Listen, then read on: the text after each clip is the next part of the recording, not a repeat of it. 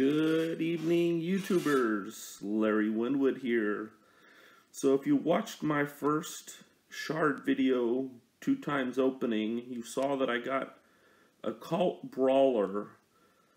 I have to say, he has made such a impact on my clan boss team. So as you can see right now, he's got seven artifacts, four star, one five star, two five star, three five star, four five star. He's running with uh, an accuracy set, uh, speed set for life, and a speed set normal. Um, he's got uh, no masteries and no books presently. Uh, the only thing that is activated is his um, passive because he's got four ascension stars. So there's him, and then compared to my Kael, who's got uh, all artifacts, um, full masteries, and I just want you to to watch the clan boss uh, difference that he makes for my team.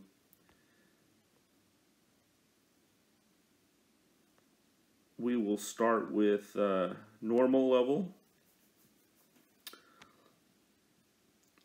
So before Occult Brawler, on average, I was doing between four and four and a half million. It would take me one key to successfully get max rewards on the normal level.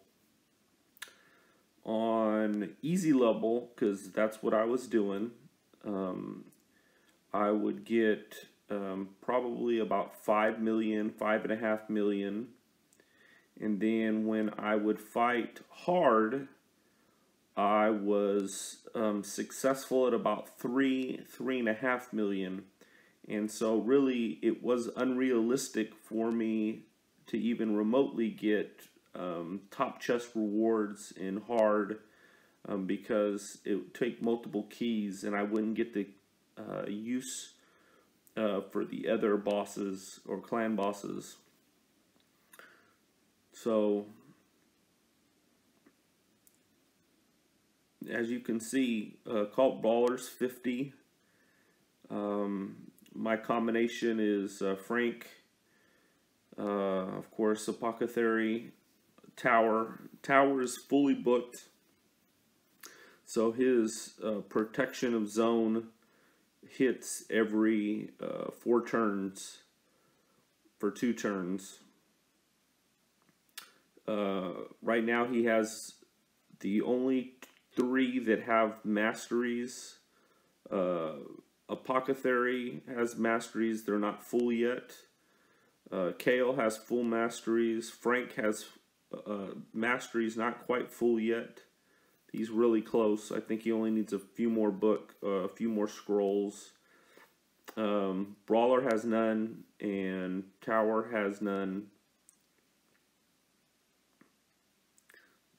he's just really amazing. And the, the neat thing about this, the way I have the team set up is, um, of course, uh, Kael is in lifesteal gear, and then Frank is in um, three sets of 3% turn gear. Tower is in a uh, set that provides 10% gear and uh, of course Brawler is not he's in the speed and uh, accuracy set and so really when it comes to healing uh, Apothecary only has to uh, throw up heals on Brawler.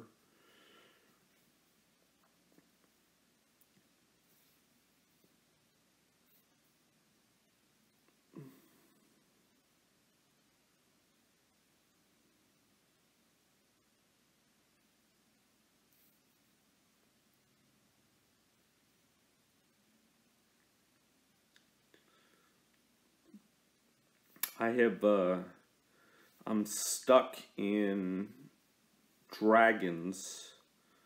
Um, I think it is stage 16 if I'm not mistaken. It is the dragon stage where the uh, dragon is 200 void. And I thought since uh, Occult Brawler is doing so well with me in Clan Boss already at level 50, I thought he would assist me with possibly uh, knocking over the dragon, and unfortunately, that is not the case. So I'm still stuck at Dragon's Lair. Um, I will, of course, continue to try him out because he rated well for dragons. However, I'm going to focus on getting him up to 60, uh, getting his masteries up. Um, look online to see how he's built, if he's built for um, support and defense, or if he's built for attack. Um, I'll have to see.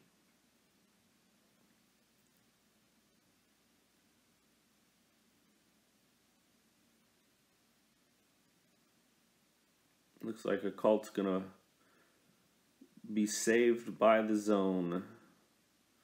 Apothecary hopefully will give him a nice big heal, which he does, but it's not full. Yeah, the zone of protection by tower really makes a difference in this group.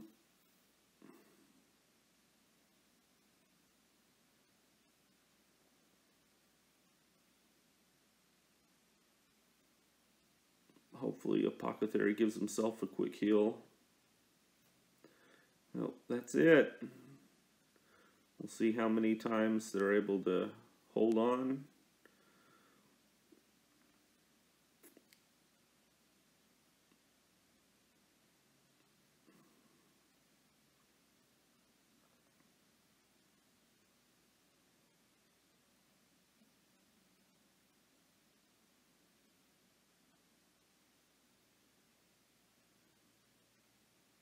And then there was one.